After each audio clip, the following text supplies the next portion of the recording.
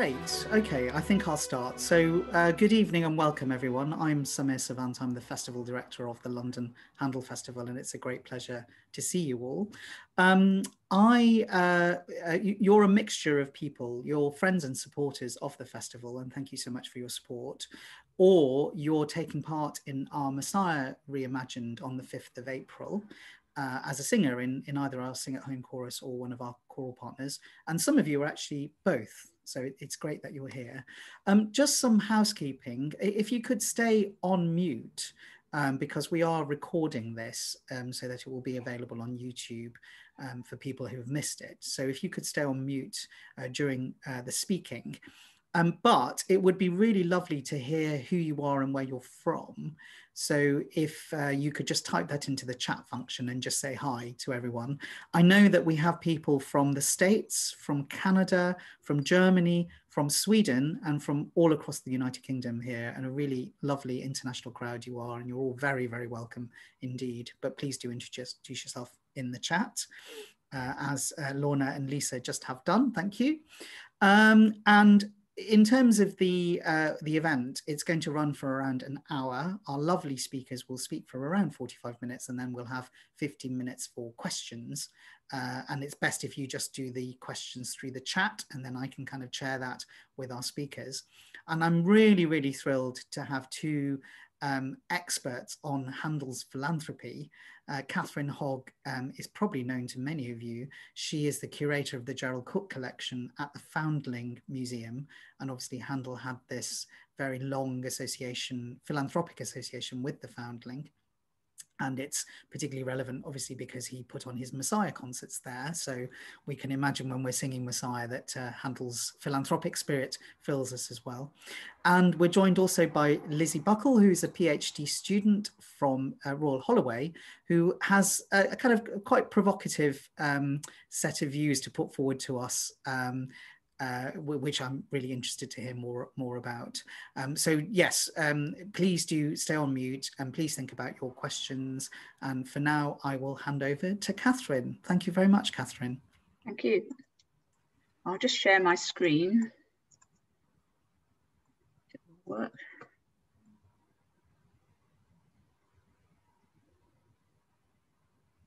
I hope that's working satisfactorily. Um, so good evening, everybody, and thank you, Samir, for inviting us. Um, I'm going to talk a fairly straight talk about Handel the Philanthropist, um, and then Lizzy will respond. So I'll just talk for about 15 minutes. Um, Handel, you all, you all know, but as a musician and as a composer, but he was also an entrepreneur and he weathered per periods of financial difficulty in his professional life, as well as sharing the benefits of his success. He worked for many different patrons, including the royal household, as well as running his own opera productions and concert series and collaborating in various business ventures.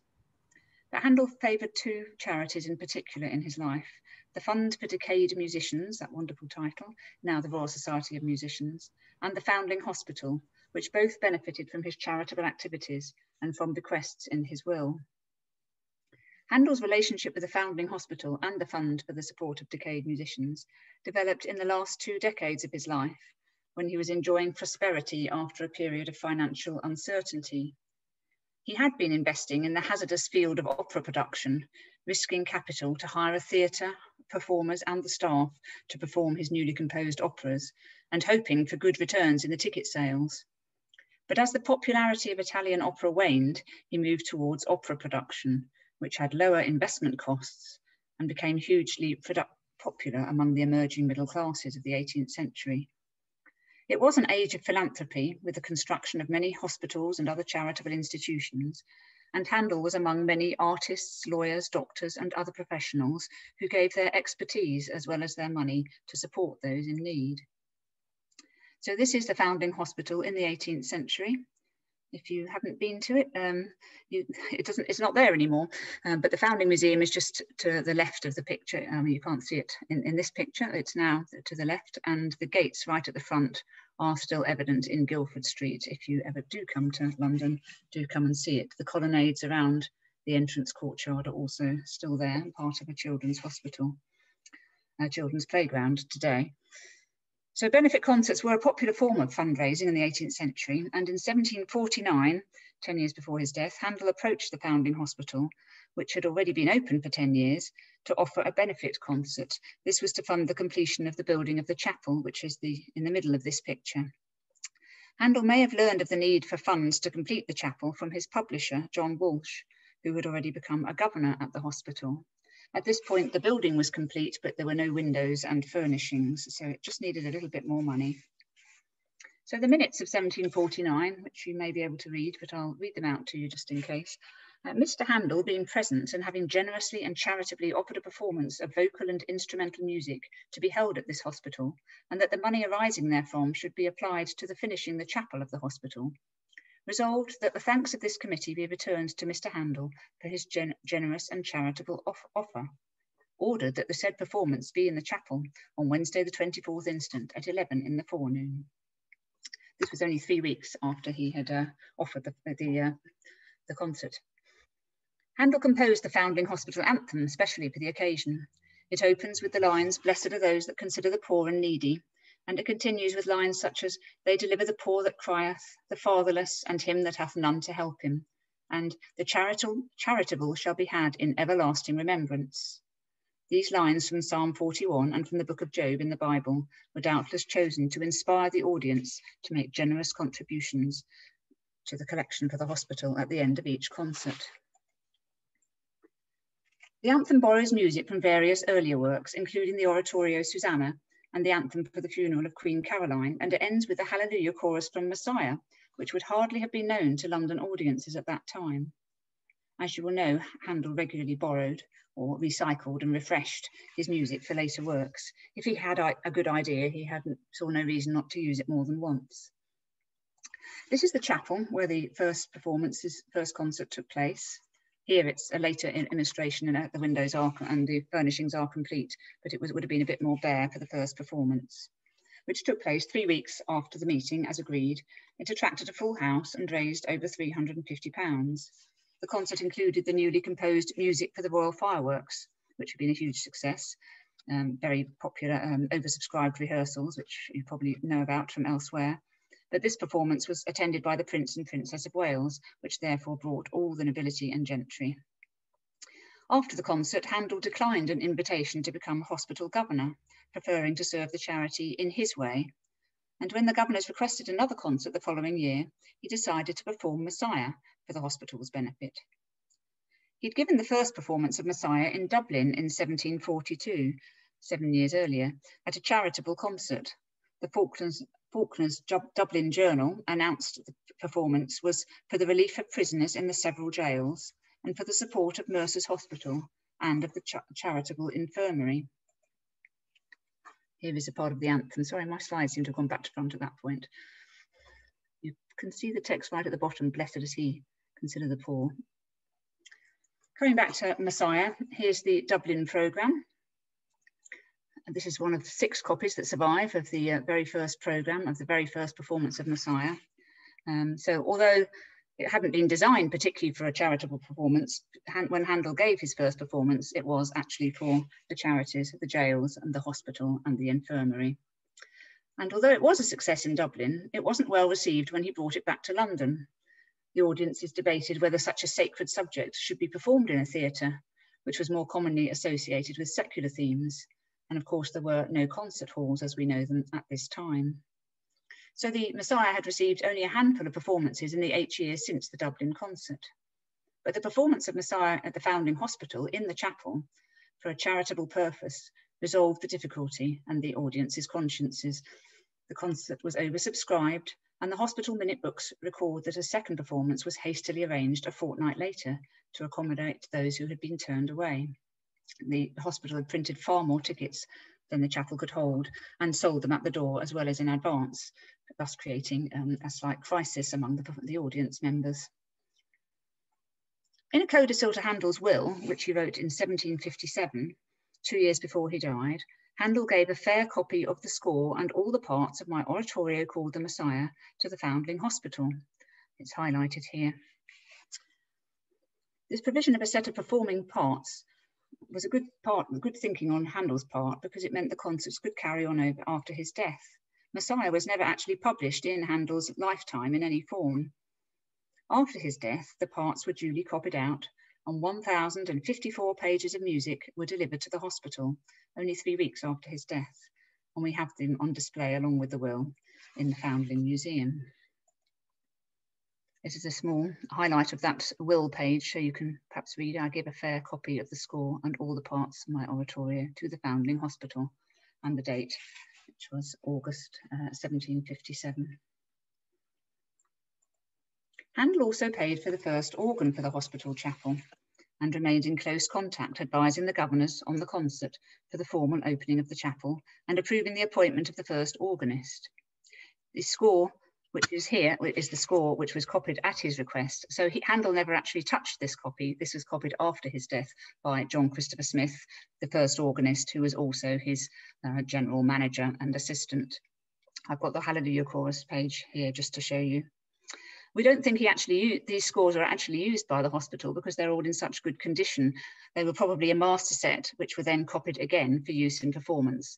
Um, any of you who are singers will know, or performers of any kind will know that you soon scuff the pages, write your uh, rehearsal marks on and so on. So um, they wouldn't be quite as pristine as they are today. But Handel carried on doing the benefit concerts for the last 10 years of his life, raising almost £7,000 for the charity, which can equate to about 17 million in terms of today's income, and established Messiah, of course, as a central work in the English repertoire. The other charity favoured by Handel was the Fund for the Support of Decayed Musicians. In 1738, three musicians working at the King's Theatre in the Haymarket were inspired to create a fund to help musicians and their families in distress and advertised a meeting for subscribers to a fund for the support of decayed musicians or their families. A year later, 228 musicians, including Handel, put their names to the Declaration of Trust. And here's a copy of it. Well, this, is the, this is the actual official declaration, courtesy of the Royal Society of Musicians. It's in their archives, and Handel's name is there in the box. These 228 musicians put their names to the declaration and paid an annual subscription. But with no safety net of a welfare state, Illness, the loss of a finger, or even teeth could leave a professional musician destitute in the 18th century, and London had a large population of musicians from home and abroad. The nobility and gentry gave support, and the fund eventually got royal approval and became what is now the Royal Society of Musicians. In, in, funds were invested to provide income, and now it no longer needs to have subscriptions. Of course, this year in particular, we've seen the need for such a fund to support musicians during the coronavirus crisis, and the, the same fund has been very generous in supporting them. Handel gave his first benefit concert for the Society at the King's Theatre in 1739, hiring both the theatre and giving his direction of the performance free of charge.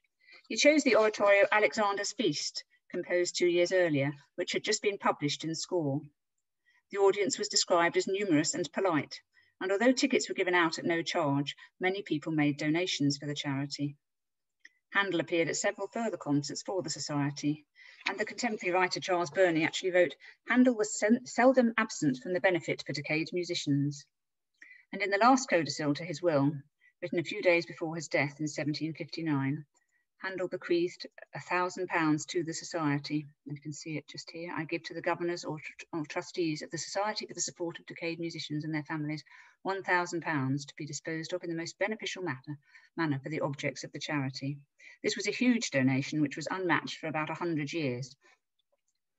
A performance of Handel's Messiah then continued almost every year after Handel's death from 1760 until 1914. In 1784, the first of several Handel commemoration festivals took place in London, and proceeds from the performances were advertised as for the benefit of the Society of Musicians. These large-scale concerts attracted an audience of four and a half thousand and raised £6,000 for the Society and £1,000 for the, Westminster, the new Westminster Hospital. And these concerts began a tradition of Handel festivals and inspired music festivals across the country, where provincial cities were building their own hospitals funded by charitable giving. You can see the scale of the operation here. I don't know if you can see my cursor, but these are the performers. Um, this organ was is actually at the West End, it was on its way to Canterbury Cathedral, and they stopped and built it um, in the Abbey just for the festival, and then took it all down again afterwards and took it down to Canterbury. but it was the talked about event and it was uh, described across Europe. It was such a large scale performance.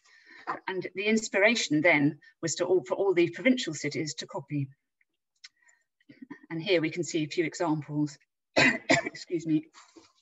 So while Handel's music is his greatest bequest in itself, his philanthropic work in donating performances for the needy causes established this sort of legacy and tradition, particularly of Messiah, which is performed at almost every uh, major music festival in the 19th and early 20th century and continues to this day. The performances of Handel's music were particularly associated also with benefit concerts for the sons of the clergy and for hospitals and infirmaries. Excuse me. In 1834, the Handel commemoration in Westminster Abbey was revived and funds were shared between various musical charities. The provincial choral festivals, which established in the 19th century, were also very much associated with charity, and Messiah. And here's an example. This ticket at the top is for a performance of Messiah, excuse me, at the Birmingham Music Festival in 1814. Here on the left, we have the performance for the for the hospital, which is just after Handel died in 1759. And in the middle, we've got the Yorkshire Grand Musical Festival to support York County Hospital and the infirmaries of Leeds, Hull and Sheffield. Excuse me. And then here on the right, the Royal Society of Musicians and another Messiah. Excuse me, my voice has given up just as I finish. So Handel's two great philanthropic legacies were his music and its association with charity. I'm going to pass over to Lizzy now, and I'm just putting a little link into ask any particular questions at the end of the day, um, which don't Samir doesn't have time to cover, or any other questions about Handel, Messiah and philanthropy, there's our email address. And now I'll pass over to Lizzy. Okay, so as uh, Katharine has just demonstrated, Handel is frequently hailed as the philanthropist, and to a certain extent, rightly so, but maybe Handel wasn't quite as golden hearted as we might at first think. Maybe we could interpret his actions in, in maybe a slightly different way. Um, and so, with the magic of punctuation, I've given my talk um, a rather more cynical title um, Handel the Philanthropist. So it's often noted that Handel was governor at the Foundling Hospital and he paid for the first organ in the chapel there. He also composed the anthem and assisted with the annual performances of Messiah, um, which Katharine just mentioned. Uh, he also left money in, in his will, um, again, as Katharine um, pointed out um, in her talk just now. But um, this list of good deeds looks slightly less um, shiny uh, if you look at them in, in some more detail. Um, so firstly, um, while The Messiah received a warm reception at its premiere in Dublin, it wasn't particularly successful in London until it was performed at the Foundling, uh, Foundling Hospital. So you can see why he wanted to maintain his connection to the institution by organising regular performances because he saw that it was making him more successful. So it would make sense for him to continue to um, uh, be connected to this um, institution. Um, and you can see uh, his the advertisements for the for the um, uh, performances of Messiah at the Foundling um, hospital also sort of suggest reasons why they might have been it might have been advantageous to Handel to uh, be connected to the Foundling hospital. So um, you can see here, um, so at the top, uh, the hospital for the maintenance and education of exposed and deserted young children. That's just the fancy name for um, the Foundling Hospital. Um, and so the first few lines read, at the request of several persons of distinction, George Frederick Handel Esquire has been applied to for a repetition of the performance of the sacred oratorio called Messiah which he having very charitably agreed to. And so this was the um, performance that Katharine mentioned just now, that um, where they ran out of tickets, uh, ran out of space in the chapel um, at the Foundling hospital. So they had to do another one um, because there were lots of people with uh, tickets who didn't get in and were probably a bit cross. And if you look at uh, the, the, the, language that's used here, um, it's really very favorable for, for Handel. Um, for instance, uh, I don't know if you can see my, my cursor, but the, the phrase very charitably, I mean, he didn't just agree to it, but he, he did so very charitably, you know, uh, uh, exaggerating or certainly emphasizing his um, philanthropic actions. Um, and similarly, um, it wasn't just at the request of any old person, you know, it was several persons of distinction, which gives Handel power because um, people, presumably of some kind of lofty station, are um, asking him to do something for him. He's in a position of power. And also, just his name is very prominent. It's in capital letters. Uh, so it's very, very clear for the uh, person reading the newspaper that you know he is involved. Um, and so drawing attention to his involvement in, in the event would have, of course, have attracted more people to come because of his, you know, his celebrity status. Um, but you have to think about how good the, the advertisement made him look. And the emphasis on his involvement must have benefited his reputation um, in the way that it uh, publicized his generosity and demonstrated how successful he was. Um, another example, so um, I think Katharine mentioned this one as well, but um, despite the many benefits that um, Handel received through his connection to the Foundling hospital, his allegiance only seemed to stretch so far. Um, he initially turned down the honour of being made governor to the hospital, preferring instead to serve the charity in his own way, whatever that means. Um, but he relented only after the governors tried again and let him off the 50 pound gift that they were um, that new governors were expected to give when they were elected to to charity which suggests that he was sort of trying to wriggle out of giving that. Um, and later on um, maybe because he'd agreed to become a, governor or maybe because he continued with these um, performances um, the annual performances of messiah but um, later on, the, the governors mistook this um, for an agreement um, to the to that Handel would grant the hospital sole performing rights of Messiah, and they formed an application to Parliament to make it official. And when he found out about it, Handel apparently flew up into a rage and exclaimed, "For what shall the foundlings put mein Oratorio in the Parliament? Der Teufel, mein Musik shall not go in the Parliament." Which, in case you couldn't tell from my um, terrible German accent, was the um, 18th century transcription of, of Handel's uh, presumably strong ac accent, um, and basically means um, um, why would the foundlings put my oratorio um, to Parliament? The devil, my music shall not go before the Parliament. So he was clearly very unimpressed by that. So presumably he had still he still intended on performing Messiah elsewhere to, to make the most of the popularity it had accrued thanks uh, to its connection with the Foundling hospital. And so these things, when taken together, I mean, even if you uh, include the fact that he reused a lot of the, the material uh, for, the, for the anthem that he composed for it, it sort of implies that maybe he wasn't quite as golden hearted as uh, some people have made him out to be. But before you all start booing and boot me out of the Zoom call, um, maybe we just need to put it into, into some context, into some 18th century context. So firstly, we need to have a think about um, 18th century attitudes to charity, um, which differed quite a lot probably from our own today. Um, as I think Katharine mentioned, that charities were relatively a relatively new phenomenon in the 18th century, and philanthropic activity became a bit of a craze. There were there was a flurry of new activities um, founded, uh, charities, sorry, founded, including the London Lock Hospital for treatment of venereal disease, the Magdalen Hospital for the reception of penitent prostitutes, and of course the Foundling Hospital for the education and maintenance of exposed and deserted young children. And this uh, fusion of charitable activity has led some historians to dub the 18th century the age of benevolence.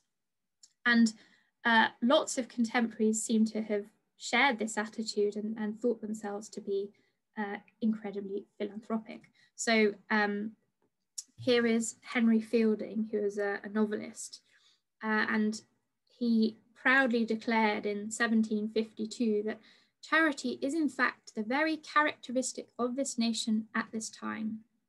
I believe we may challenge the whole world to parallel the examples which we have late given of this sensible, this noble, this Christian virtue. But things weren't necessarily as rosy as, as this uh, statement might seem. And to understand why, we need to think about where this new spirit of humanitarianism came from.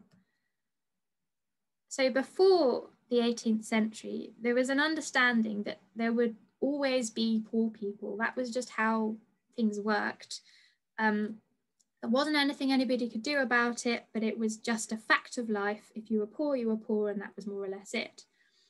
Um, but then, um, by around 1700, attitudes started to change, and it was understood that poverty resulted from unemployment.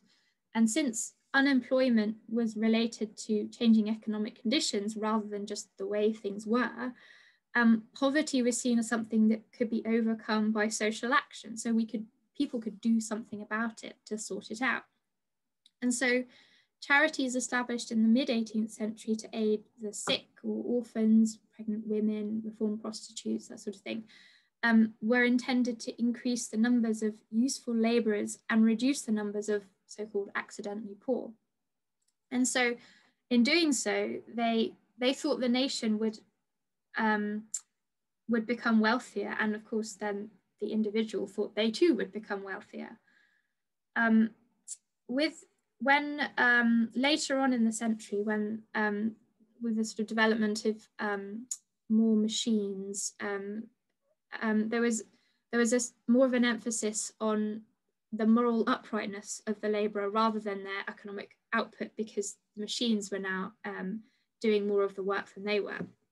And so um, later on in the century, um, charities were considered a way to educate the poor on religious and moral duties, um, encourage sobriety and industry, independence. So they could pass on these um, values to, to future generations and would generally improve the um, moral out, outlook of the country. So charity was seen as a way of improving not only the, you know, what you've got in your pocket, but also um, how, I suppose, well, how pleasant, how good the country was.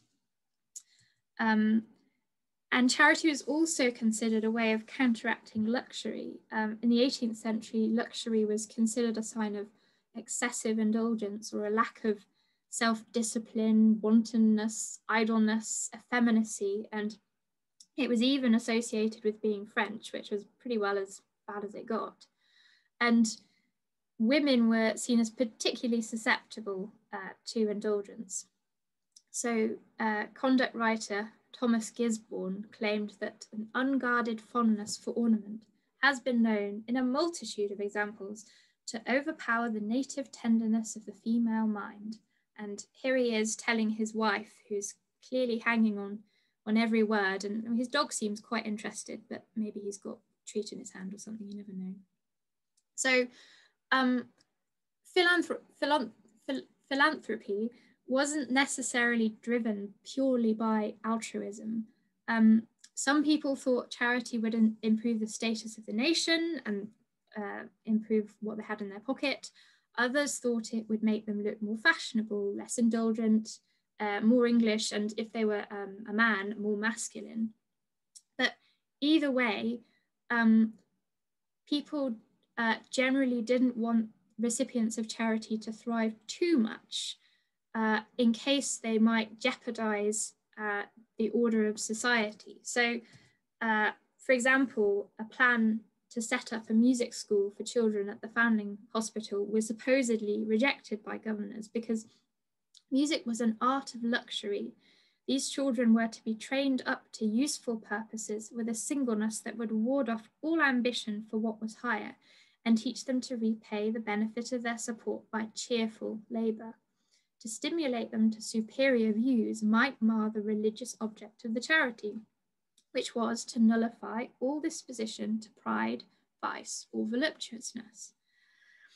So, in other words, the poor could become more moral, hardworking, and sober, but they shouldn't be allowed to harbour ambitions beyond their station, or they'd risk becoming self important, vain, and immoral. So, while some charity recipients undoubtedly benefited um, from, from the charitable institutions that, um, that they were hosted by, looked after by, whatever, um, these institutions weren't necessarily quite as um, uh, inclusive and um, I suppose positive as you might have expected. Um, another important part of um, context that we need to consider is the fact that Handel wasn't the only person benefiting um, from uh, involvement in charities in the 18th century, and by no means the, the only musician. Um, lots of musicians benefited from their involvement in, in benefit concerts in particular. And um, these, these musicians seem to have, seem to have seen how uh, charity could, could benefit their, their own careers. Um, so for example, this is a payment list um, from the 1760 performance of Messiah. Um, and we, we know that in general, members of the orchestra and chorus were paid about the same amount um, as they earned from, from theatre work. Um, you can see on the top, um, at the top there, that Mr. Miller, who's a bassoonist, the lead bassoonist, in fact, um, earned half a guinea, which is 10 shillings and sixpence. So that's kind of equivalent to five days' labour for a skilled tradesman. Uh, unfortunately, things were still looking pretty bad for viola players and not much has changed there. And so they only got um, eight shillings. You can see Mr. Rash there um, only got eight shillings. Um, and as you might have expected, the um, the soloists earned uh, much more than members of the orchestra. So and of the of the chorus. So, for example, um, you can see that Julia Frasi, uh, so Signorina Frasi, um, received six guineas, six pounds and six shillings, which is 12 times the amount that Mr. Miller, the bassoonist, um, got. And you can see also from John Beard's entry that some, some of the star performers at benefit concerts donated their fee to charity, so he didn't receive anything for um, this particular performance.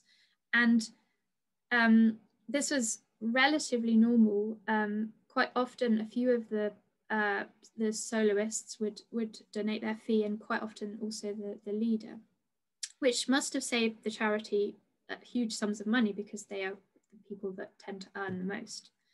Um, but those performers who did donate their money might not have done so purely out of the goodness of their own heart, as they had loads to gain from flaunting their generosity. Um, as with Handel, um, gave some examples before, newspaper advertisements regularly drew attention to star performers' generous deeds. Uh, so uh, these are adverts from slightly later performances of um, Messiah at the Foundling Hospital, so um, 1769 and 1774. And so the 1769 one here states that Signor Giardini has generously offered for the benefit of this charity to play the first violin and a concerto. And the one on the right says, Miss Davies, Mrs. Wright, and Mr. Norris and Mr. Reinhold have, for the benefit of this charity, generously engaged to sing the principal parts. And again, the language, generously engaged, benefit of the charity, etc., really emphasizes uh, the musician's uh, so-called apparent altruism. But some of the performances, uh, performers uh, listed here managed to appear considerably more charitable than they really were. So uh, despite what the advertisement declared, Thomas Norris actually received 10 guineas for his performance um, at the Foundling Hospital in this year, and he received 10 guineas the following year as well in 1775. And he was also the only soloist to claim a fee on both of those occasions. His fee was quite generous um, as as it went for um, compared to, for example, um, you know, non non benefit concerts. Uh, and it was actually the second highest fee awarded to any performer at the Foundling um, at the Foundling Hospital. Um, so it really was quite a substantial amount of money. Performers at other charity concerts were also thanked publicly in newspapers. This one is for a performance of Ruth, uh, also an oratorio by Giardini, who we saw a little bit from in the previous slide. Um, and it was at the Lock Hospital in 1773. And it says here that thanks of this court be given to the two Miss Linleys, Signora Galli, Messieurs Giardini, Vernon, Champney, or possibly Champness, I'm actually never sure which way you say that, Arnold, Dupuy, and Crosdill for their performance gratis. And it goes on to say that Mr. Linley's generosity in returning the sum paid to him by the governors of the Lock Hospital for his daughter's singing cannot be made too public. And Thomas Linley did indeed return his two daughters' fees for singing at the Lock Hospital, but this was only after he demanded that the Lock Hospital pay the same amount as the Foundling Hospital had paid them that year, which worked out as £20 um, per daughter, so £40 uh, in total. Um, in fact, the, the Foundling Hospital had paid him a total of £100 uh, that year for uh, himself, because he played, he, he led the orchestra, uh, and his son, uh, also called Thomas, confusingly, who also played the violin, and his two daughters sang. So they got £20 each, so £100 in all. Um, and so £20 is is the highest amount that they uh, any performer had received and is nearly double what Mr. Norris got, which we've already said is actually quite a lot of money. Um, and maybe to contextualize it, I, I looked up how much uh, £100 was worth in uh, 1770 compared to today. So in 2017, that would have been £8,725.53p, according to the National Archives, um, which could buy you 14 horses, um, 21 cows, and I think most shockingly to me was the equivalent of a thousand days labour for a skilled tradesman, which is um, quite hard to get your head around. So it was really a lot of money. And so uh, Mr. Mr. Linley only gave back the money that the Lock Hospital um, um, had paid to him, so the forty pounds for his two daughters, um, after uh, Miss, uh, Mr. William Romfield, who was uh, one of the governors at the Lock Hospital, paid him a visit and presumably twisted his arm a bit, and Linley offered to return his fee. And when he did receive it, the governors promptly made him perpetual governor for his generous donation, uh, although I would say it was somewhat reluctant. Um, but to the average person reading the paper, Mr. Linley looked amazing. In fact, um, but in fact, he was, uh, you know, a less than enthusiastic, enthusiastic philanthropist. So participating in charity concerts would allow musicians, including Handel, to showcase both their musical skills and their good conduct, both um, at the performance itself and also in the newspapers. While donating to um, charity might go unnoticed, participation in such an event enabled them to perform their benevolence before an audience of many witnesses who could then further transmit news of their generosity by chatting to their neighbours or, I don't know, telling their best friends, that sort of thing, writing to people. Um, Public engagement with um, charity could also um, help to offset the performer's connections with um, the excess and commercialism of theatre, which deals with the problems connected to luxury I mentioned before. Luxury was associated with extravagance and luxury and um, uh, things like that. So being associated with the theatre wasn't necessarily a good thing. Whereas if you're performing in a chapel connected to charity, um, it sort of helps to offset that and paint you in a better light. Um, benefit concerts could help performers and composers to um, sort of construct their persona um, in a way that would seal their popularity and maintain their career. So it's perhaps unsurprising that Handel and the other musicians chose to associate themselves publicly with these events. So how do Handel's actions fit with the mindsets of other musicians? Uh, how do, sorry, how do Handel's actions fit with the mindsets of, of the other musicians and the attitudes towards charity in the 18th century that we just explored? Well, by using his connections to charity to promote his career, um, he was in effect improving the economic situation of the country in two ways. Firstly, by providing money and support, um, he provided money and support to the two institutions, so the Foundling Hospital and the Fund for um, Decayed Musicians. Um, and in doing so, he would help the children and, music and, and musicians um, to find a way out of poverty so they could become useful, moral, industrious workers and help increase the, the wealth of the nation. And secondly, he ensured that his own career didn't suffer in the process. So by refusing to hand over the rights of Messiah, he could prevent uh, he could prevent himself and all those who depended on him. So I don't know his family and the people that worked for him and the people with their businesses that linked to him, like I don't know printers who might print his music, that kind of stuff. Um, it would it would prevent them from becoming accidentally poor because it would keep all these businesses and these people going. So um, Handel, in a way, was was looking after the wealth of the nation, which was sort of what poverty was, uh, the, solution to poverty was aiming at. And so, based on what we know about charity now, maybe I can remove the punctuation for my title to become Handel the philanthropist. But we also know that Handel was a shrewd businessman and he made um, many sound financial investments throughout his life and even managed to avoid the collapse of the South Sea bubble that caught out many of his contemporaries. So perhaps we should interpret his philanthropic actions as part of a savvy financial decision.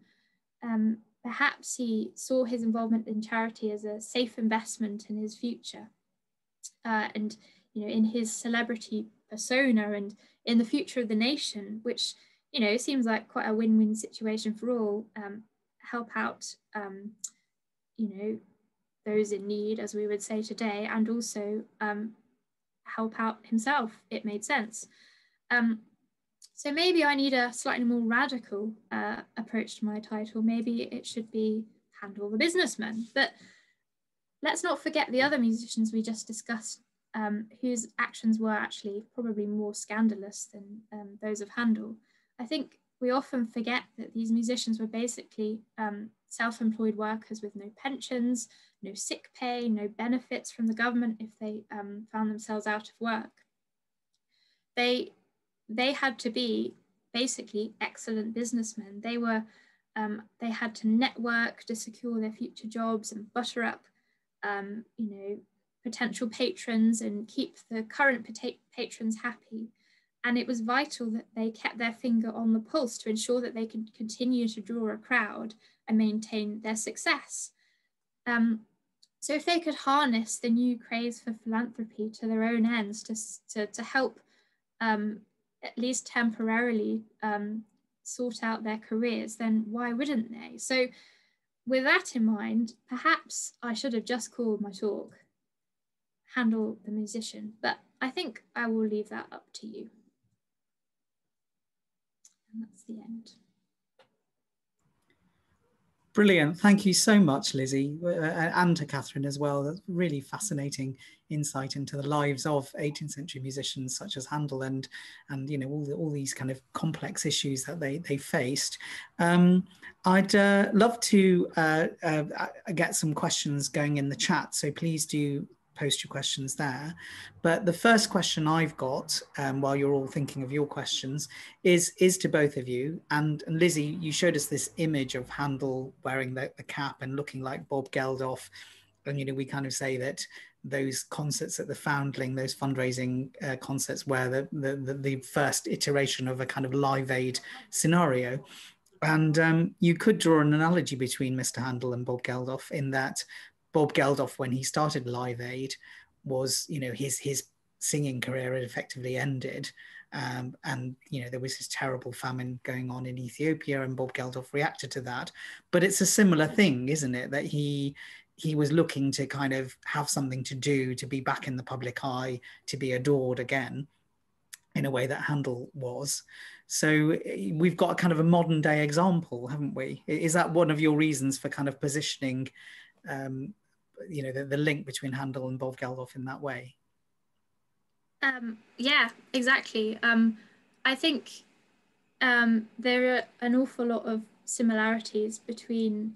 I, I know I just said, oh yeah, well, we think of charity as something completely different now to how we, we formed it in the 18th century, but I actually think it's a lot more similar than um, than you might expect. I think quite often we sort of expect something back from when we give to charity. We sort of, you know, you put your pound in the thing and then you, you suddenly feel, you know, all warm and fuzzy and aren't I a great person? And I think, you know, that is the case for everybody, not just Bob Geldof, but there are certainly uh, examples of, of prominent uh, celebrities like, like Bob Geldof who have definitely helped an awful lot of people. They've raised a crazy amount of money, but you can't deny that they've probably partly driven, uh, certainly at the start, by the benefits that it would have to their their career. And there's a really funny, um, I think it was um, from um, uh, what's it called, comic comic relief a few years ago, and it's Ricky Gervais. It's on YouTube. You should watch it.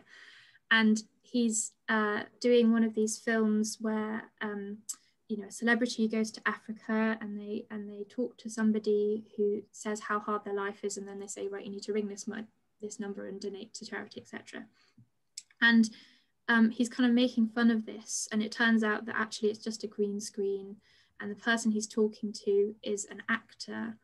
And um, he's actually doing it you know for product placement. And all these other celebrities come along and say oh can i get involved? I've got a new product out. Can i?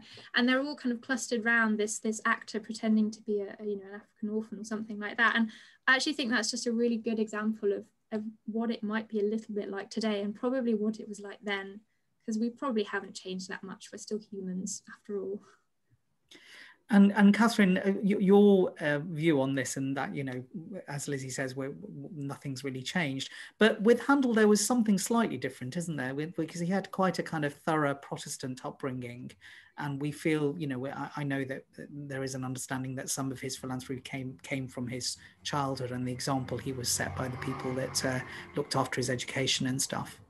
Yeah, in in Halle, in his hometown, there was already a um, the Frankischer um, Institute, which was essentially a foundling hospital. So he would have been very familiar with the concept. And of course, they had a lot more foundling hospitals in, in Europe way before we had any in this country. So he would have been much more familiar with the concept, probably from Italy as well.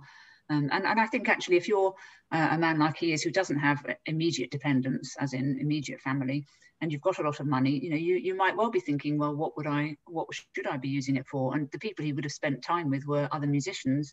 So the fund for decayed musicians would be an obvious choice. And we don't actually know why he first approached the hospital particularly, except that um, his publisher, John Walsh, was a governor there. And he might have just thought, well, actually, yeah, he might have thought this is this is a good place to try out the Messiah because it's not doing very well. What we don't know is is why the first performance of Messiah in Dublin was for charity. We don't there's no uh, documentation, as far as I know, of saying why those charities were picked, whether he picked them, whether they approached him, or whether the person who hosted know, in the music hall in Fishamble Street, you know, had already fixed up that it was going to be a charity concert for these, um, and then got Handel in to do it. We don't we don't have any record, as far as I know, of that of how that first started, but but um, I think perhaps having done that first performance for a hospital and the, the debtor's jail, you know, he, he was perhaps inspired to think this is quite a good way of using it. And it is, as, as Lizzy was saying, get, gets the Messiah out there and gets it established. Yes, and I mean we've all got to be grateful for that. I mean every single person on this call, because you know if Messiah hadn't succeeded um, eventually in London, we we wouldn't really have, um, you know, it might have um, become a, an obscure work and we might not be performing it today. Um, so I've got um, a couple of questions here. We've got Lisa asking, uh, Handel left a fair use of the score of Messiah for Foundling Hospital to, to continue these fundraising concerts after his death. Um, and would this have been in perpetuity until the, the hospital's demise? I mean, how how how how far in advance, you know, into the future did these concepts? Yeah, I think this is the um, partly how we got the dispute that Lizzy mentioned about the the the hospital thinking it had exclusive use, and it was they actually left a fair copy of the Messiah, which was just meant a nice, neat, copied out score and parts that they could carry on using um, and they could just use those because uh, because there was no other way of getting the music. If you think of it not being published at all, which is quite incredible to us today, it, you just couldn't get hold of a copy, so you wouldn't be able to do a performance if you didn't actually have a manuscript copy. And a lot more music circulated in manuscript at that time than, than printed, and and so there were no printed parts available. So essentially, he was giving them uh, the hospital the ability to use it really until the parts fell apart or they lost them or, or, or, they could make copies from them, which is what we think they did. But um, but there was no sort of copyright, there was no concept of copyright or performing right or anything in those days. So um, so it was really just literally providing the music, just as now a lot of music is hire only. You know, you have to pay the publisher. It's, it's the same principle. If you didn't have, if you don't have the music, you can't play it. So uh, I think that was how Handel was it, was probably expecting that you know, to last a few a, a few decades after his life. an example, um, sort of maybe comparable for the Lock Hospital, where um, Giardini, um, who I talked about very briefly, um, he he left um, his oratorio to the Lock Hospital, and they make a big show of putting it in a special box that um, with four locks to make sure that nobody could take it away from them because like like Katharine says um, you know if you lost it you that's it you can't get another one. Um, and so I suppose that sort of illustrates it that um, you know it wasn't you couldn't just print off another copy. So it was quite valuable and Jeremy makes an interesting point here, is saying that you know whereas Handel's approach in his own lifetime is is similar to other musicians, and there is some self-interest involved. He said it can't be said the same about leaving stuff in his will because he wasn't around to have the kind of the accolades and, and that shows some evidence for his charitable feelings. Um, and that and that kind of leads me to another question was you know what what do you think mr handel would have thought about these commemoration concerts in westminster abbey? I mean presumably he would have been very pleased but really quite humbled as well I, i'd like to think. Katharine, what, what do you think? Yeah, I, th I, think I think so. I think probably he, in a way, he probably would have been surprised at how much it had snowballed. But uh, I think actually he would have been quite shocked at the scale of the performance compared with the scale of performance that he was used to on a, on a musical level. You know, he just would have never have heard any of his music or imagined it to be performed on such a large scale with such large crowds because that just didn't happen in his lifetime. But um, but from the philanthropic point of view, yeah, I'm, I'm sure he he would have been very pleased and and the idea that that his what, and perhaps surprised at the scale of, of, philanthropy and you know the scale of bequest that you really could uh, have created create you know in, in this in that which in a way that one just didn't do in his lifetime and and and yeah, Jerry makes a joke here. Um, there's no London Giardini festival, of course there isn't. So because you know Handel's music has lasted the test of time, and I and and and more than other you know even great composers like Purcell. Well, there wasn't a big anniversary for Purcell, you know, a, a few years after his death in the same way. Um, yeah, I think the because the London the first commemoration was really instigated by the Society of Musicians, Decayed Musicians. Of course, Handel had been their champion. They still had this thousand pound bequest, which was huge you know, for its time. Um, so I expect, I'm sure they were thinking, well, let's let's milk this, as it were. Let's keep this association going. You know, let's let's get bigger and better. It was it was an obvious foundation stone to build on. Um, from the and of course Handel was by far the towering sort of giant of his lifetime in, in musical terms and. Uh, and also affluence terms compared with other musicians of the day. Mm, indeed. Until, yeah, sorry, Lizzy. I was going to say, but I mean, certainly earlier on in, in Handel's career, there's, um, you know, Purcell isn't forgotten about because, well, we've had a lot of problem in this country of, of having English composers that, that people like. There aren't very many of them, so people tend to hang on to them as much as they can. And there's there's um a record of um, it's a German musician coming to London and and somebody's giving him advice on on how to put on a benefit concert and how to attract lots of people. And one of the bits of advice is to, you know, praise Purcell as much as you possibly can, and they'll all love you. And um, and so you know, certainly in Handel's lifetime, I would say Purcell was still like a relatively prominent figure. But but like Katharine said, um, you know, uh, his connections uh, to the to the Royal Society of Musicians um, probably boosted his legacy, which might be why we kind of talk about him today um, more often than than Purcell. Brilliant, thank you. Um, and, and, and I suppose this is the, the final point as well. Um, uh, Melissa talks about the, the buying the tickets in a, in a chocolate shop on Fleet Street, and that's the kind of equivalent of Eventbrite or Zoom, you know, booking your tickets for Zoom now.